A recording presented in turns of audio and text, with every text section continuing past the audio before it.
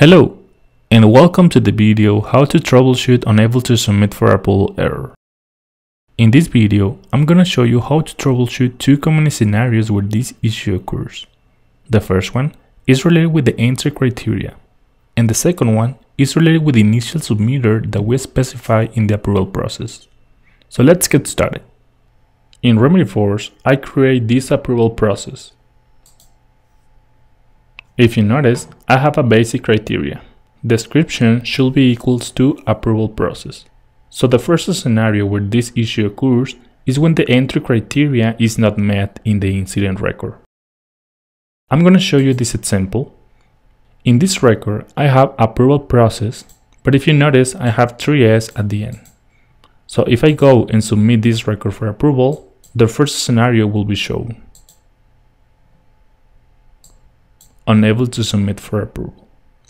In this particular case, you need to either modify the description field value in order to match the approval process criteria or modify the criteria from the approval process itself. In this case, I'm gonna update the description field, save the changes, and now I'm going to submit it for approval again. Click OK,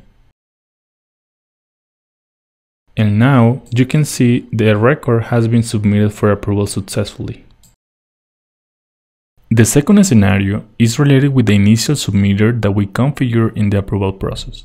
In order to reproduce this scenario, I'm going to log in as one of my staff user members, as you can see here. If you notice, the description field value matched the approval process criteria. However, if I go and submit it for approval, I'm going to receive the same error unable to submit for approval. If I switch to my admin user, you will see here the initial submitters, it's me.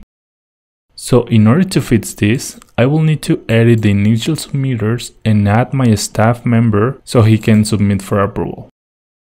Select user, move to the right to allow submitters, and save the changes. Now you will notice me and the user staff are allowed to submit records for approval when this criteria is met. I'm gonna switch back to my staff user again, click on submit for approval, and now the error is gone and the record was submitted for approval successfully. This concludes the video how to troubleshoot unable to submit for approval error. Thank you for watching.